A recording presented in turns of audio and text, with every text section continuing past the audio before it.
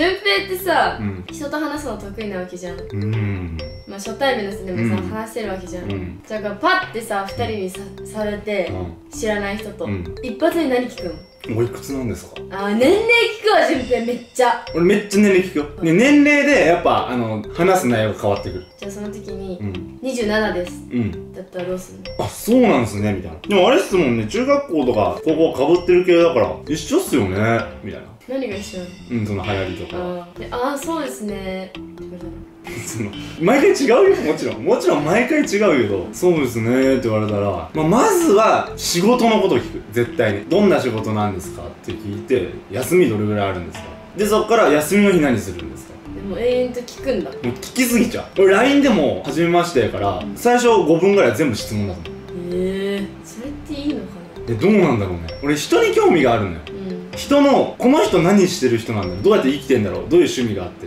何のために働いてんだろうみたいなうん。そういうのが超気になるからうん。聞いちゃう全部。好奇心旺盛な方なんですね。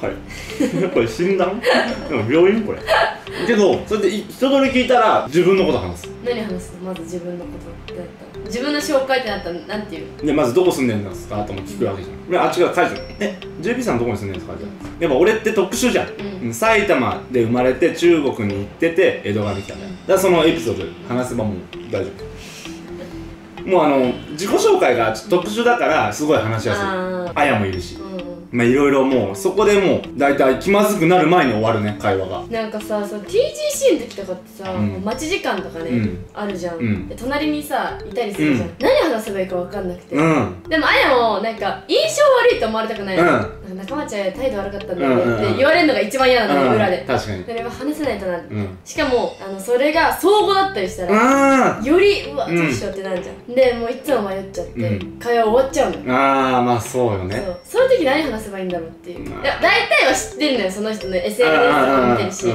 だけど毎回会ってるしその人に、TGC で、うん。ってなった場合何何話せばいいあーそれ難しいね。難しいよね。あるあるある。初対面の時は結構喋れたの,、うん。あの YouTube 見てます、うん。レアちゃん可愛いですよね、うん。とかなって結構いろいろ喋ってたんだけど、で結構なあれで頻度で会うからね。頻度で会って、隣になったりすると、うん。もう何を？っにてなって、ね髪の毛綺麗ですよね。うん。って、あそこの病院いいんですか、うんうん。であいいですよ、うん。あそうなんですね、で終わっちゃうのよ。いやもうほんと最近のこと聞きまくろうよ。で。え最近どうなんですか？仕事仕事大変です寝れてます？あ俺王林ちゃんには毎回毎回王林ちゃんもすごい話しかけてくれるじゃん、うん。うんあ JP あやちゃんみたいな、うん。だからもう最近のは仕事の話、最近も忙しいっしょみたいな、寝れてる？みたいな、ねまあ、意外に寝れてますよ、休みもありますえ休み最近どこ行くの？これあー。もういいもう一生。なるほどいけねでなんかさ自分のこと聞かれるのってさなんか、あんま良くないかなっていう。えそう。なんかさあやも言われるんだよ、うん。忙しいでしょみたいな、うんうん。休みある、うん。で休みあるわけじゃん、うあ全然ありますよってさ、忙しくなくてどうしようみたいになっちゃうな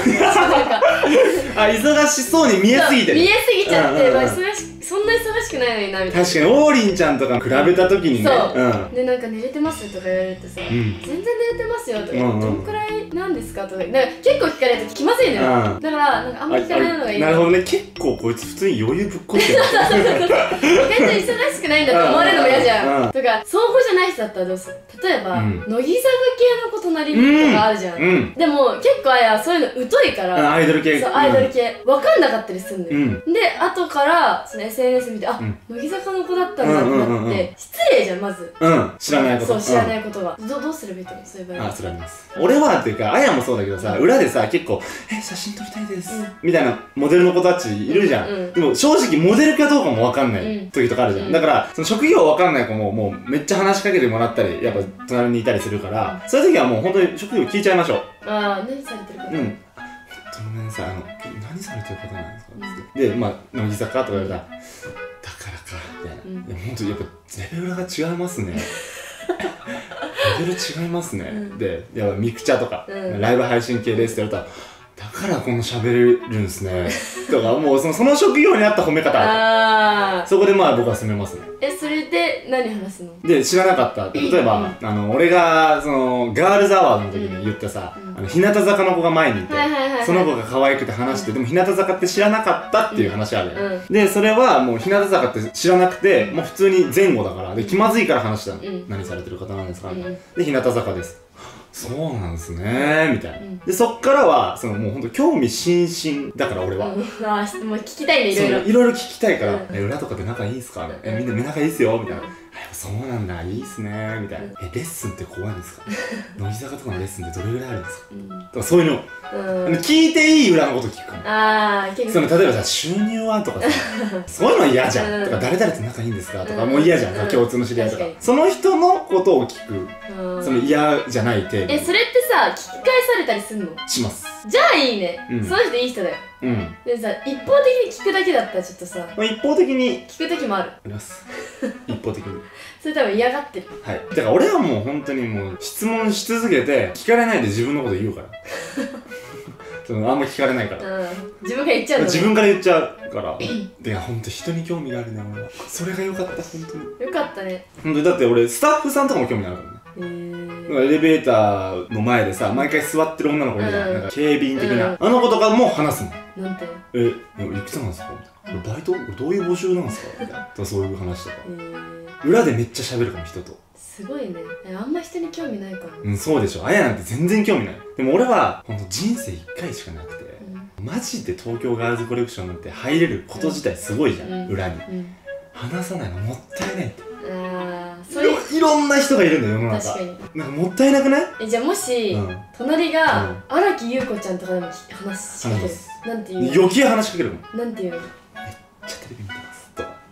もう荒木優子ちゃんだったら。何の質問すんの？もう本当に聞きたいことは、うん。そのデートとかしたらどういうところでされるんですか？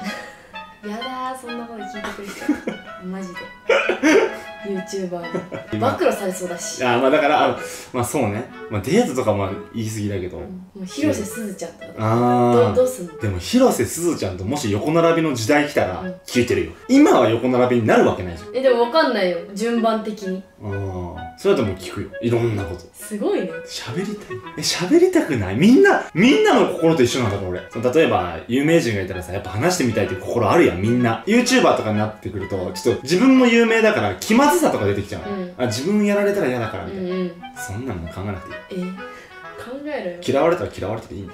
それよりも話したよ出会えたことに関してはということでこのあれ終わっちゃった？あれ今日大丈夫かな？今日の動画これ